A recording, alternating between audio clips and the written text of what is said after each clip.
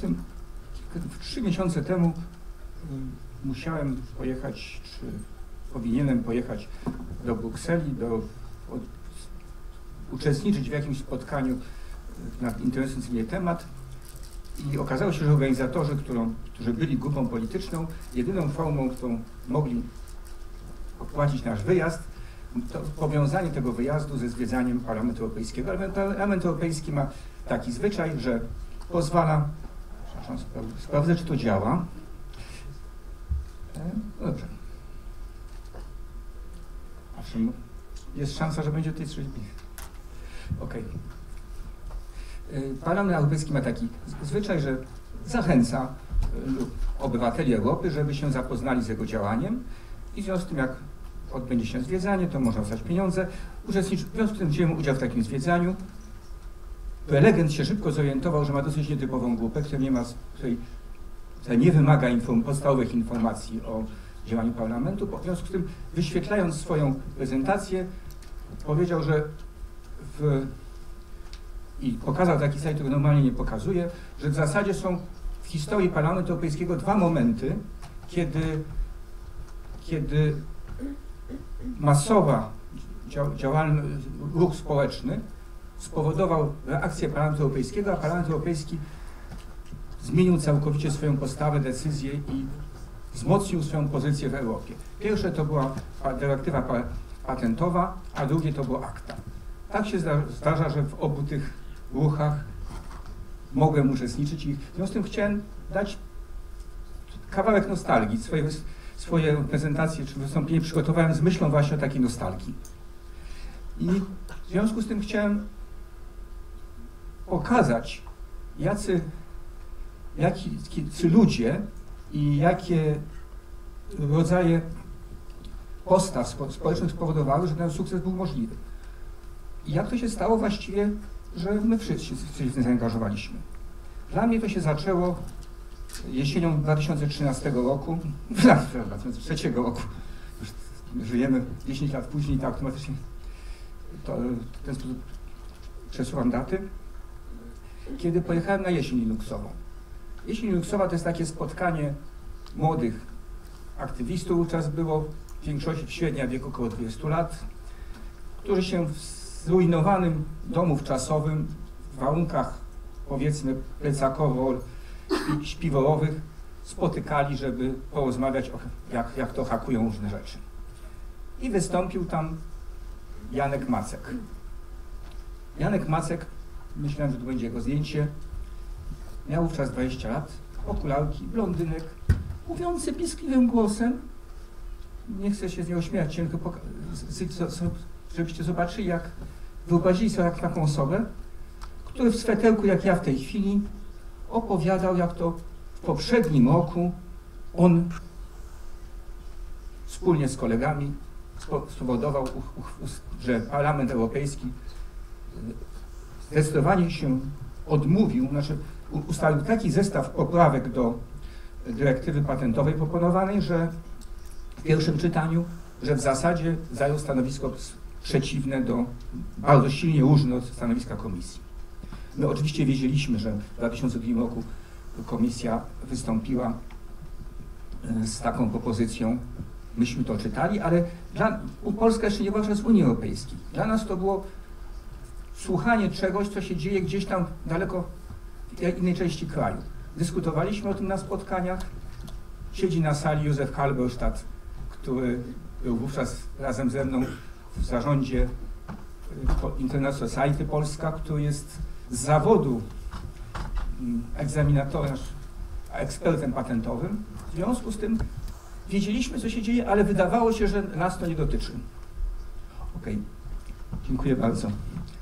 To znacznie krócej będzie to w takim razie niż...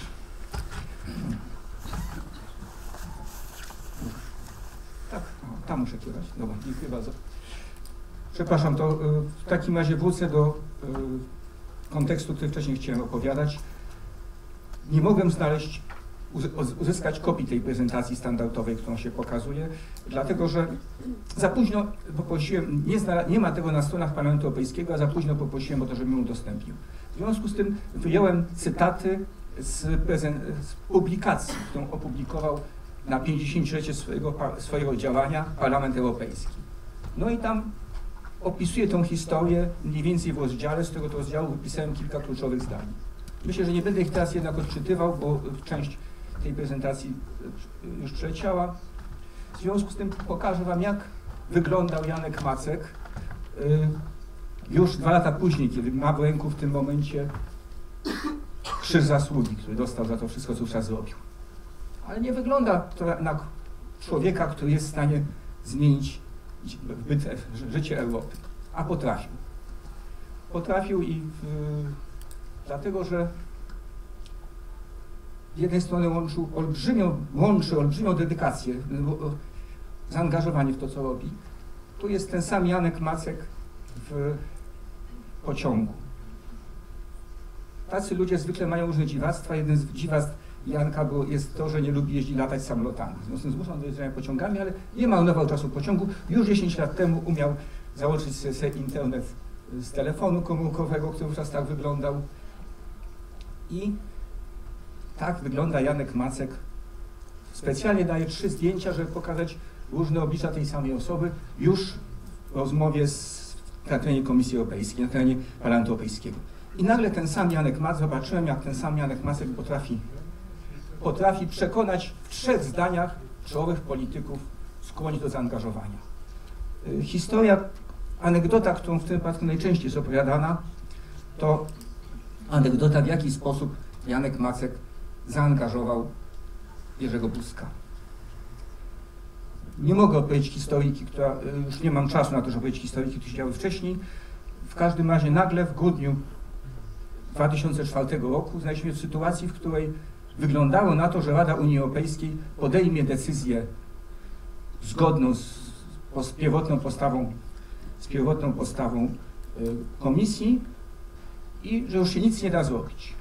Polska była świeżym członkiem Unii Europejskiej, nie chciała zaczynać od tego, że będzie się sprzeciwiała temu, co wszyscy inni proponują i wydawało się, wszystko jest przegrane. W związku z tym yy, powiem, powiedziałem Jankowi, że parę osób podpowiedziało Jankowi, jak się potem okazało, ja, no, znaczy nie, przepraszam, Jankowi, parę osób mówiło mu to, że jest właściwie beznadziejny, ale niech spróbuje przekonać Buzka. Jest weekend przed Bożym Narodzeniem. Jerzy Buzek jest w tym czasie na Ukrainie w czasie pomarańczowej rewolucji. Miernik, czyli Janek Macek, był w stanie w ciągu kilku godzin dotrzeć do asystentów Buzka w Brukseli, uzyskać od nich numer komórkowy Jerzego Buzka, dodzwonić się do niego, utrzymać jego uwagę na tyle długo, kiedy dzwoni nieznana mu osoba skądś tam, żeby on wysłuchał i zrozumiał.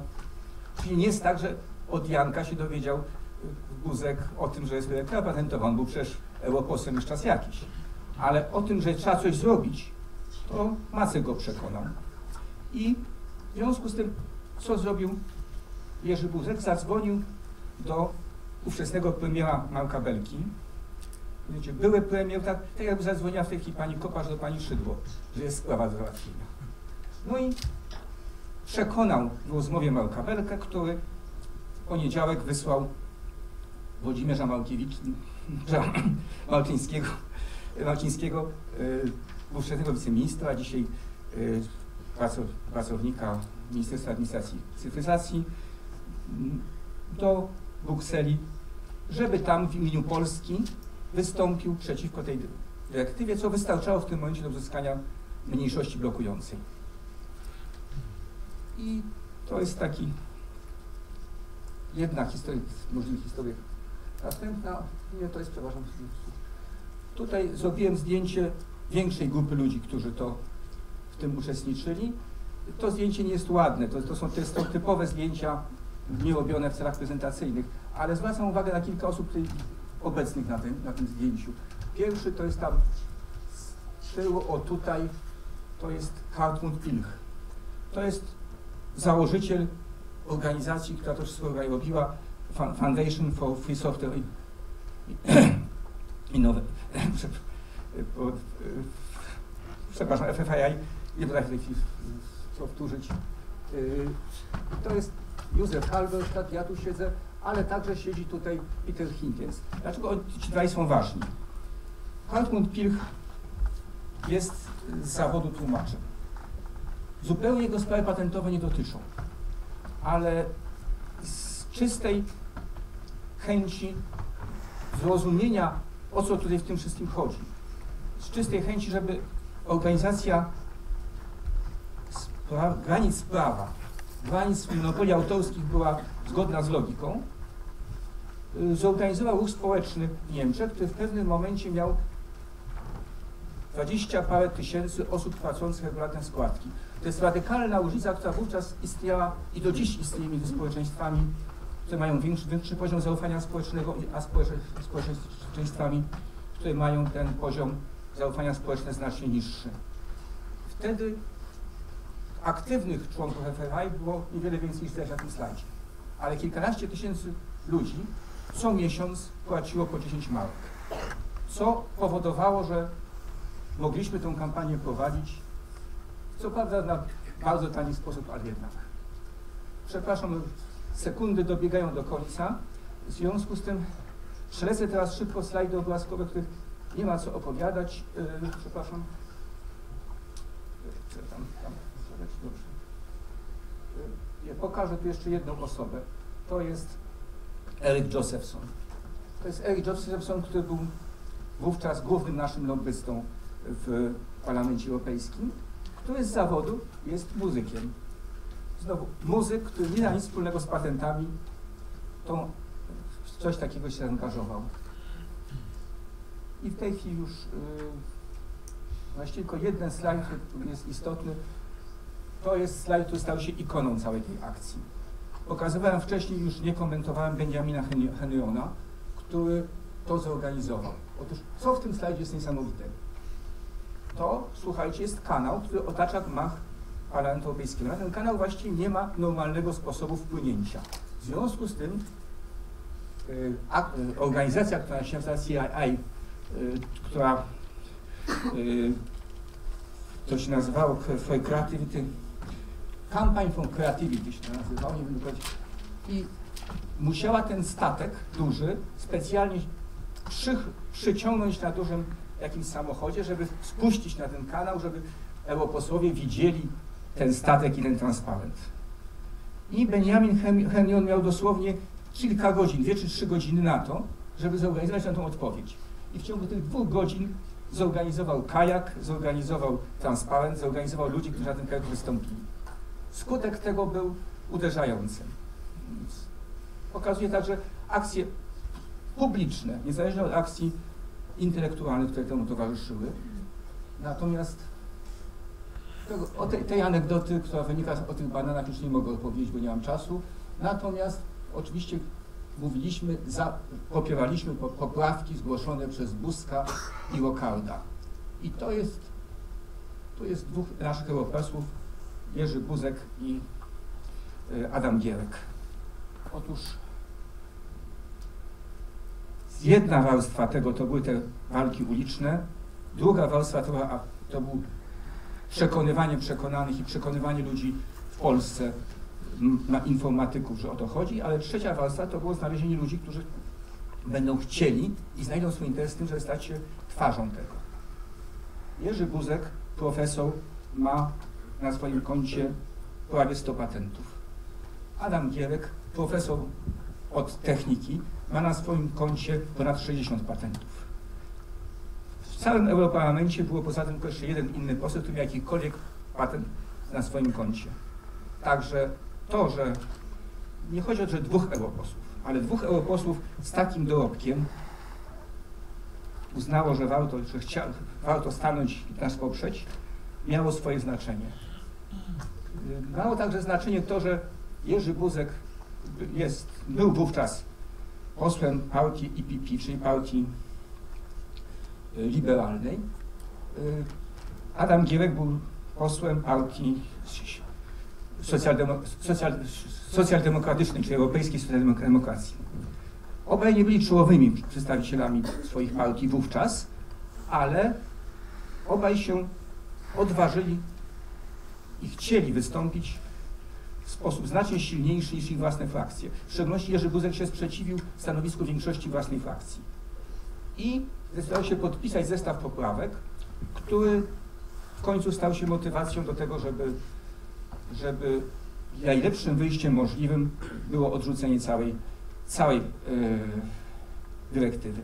No, dlatego, że alternatywą dla naszych przeciwników było to, że parlament poprze większością głosów poprawki zgłoszone przez tak znakomitych ludzi. Trzeci, mm, tu nie mam zdjęcia y, Michela Rocarda, ale dwóch byłych premierów, były premier Polski Jerzy Buzek, były premier Francji Michel Rocard. Zaangażowanie Michela Rocarda zawdzięczamy Filipowi Agrejnowi. I to spowodowało, że lepiej byłoby było przerwać spół i wycofać całą dyrektywę. Tyle historii, nie za wie, wiele elementów musiałem pominąć, natomiast co z tego w tej chwili mamy? Y, Przepraszam, to już muszę pominąć. Przede wszystkim zapraszam dzisiaj do Hackerspace.